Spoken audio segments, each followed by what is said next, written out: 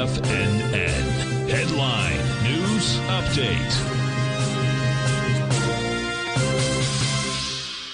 Okay, folks, Larry Pesavento giving a little mid morning update of what's happening in the stock market, and we're rocking and rolling over there, folks. We've had a really strong market this morning early with the Dow Jones up about 250 points, and then it immediately reversed and dropped 250 points.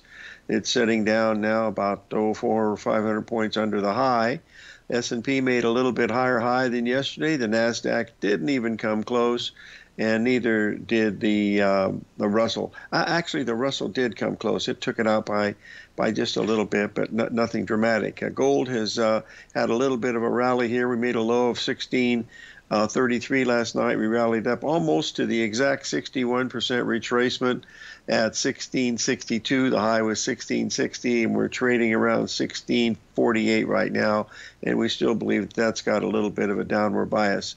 Uh, in the news, of course, they're talking about uh, you know the COVID restrictions over in China. That was the real reason for the rally. They said early in the morning on Bloomberg because they were going to review all restrictions or take all restrictions away in China. That proved to be a non-starter. In other words, it was false uh, information.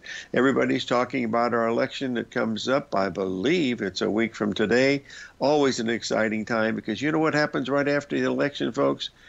they start talking about the election in 2024. So just to sit back and enjoy it. It's almost like Comedy Central over there on all the channels. I mean, it's just amazing the stuff that's put on there. And you know what's even more amazing? People actually enjoy watching that. I happen to not be one of them because I, I'll tell you, it's a little scary when you see it on what's going on here.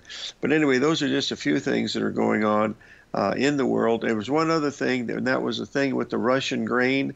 Evidently, that was blown a little bit out of proportions, also, that maybe it was not exactly what Russia meant because grain is still coming out of the Crimea.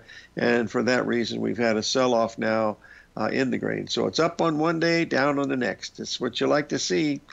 It's the old Chinese curse, folks. be careful what you ask for. You just might get it. The Chinese curse, I believe, is uh, oh dear, I can't even remember what it was. Son of a gun. And here I I read Lao Tzu all the time, and I. Uh, oh my gosh, I just can't remember it. That's a bad sign for today. Anyway, hopefully I'll remember some of these things related to the market. 877 927 6648.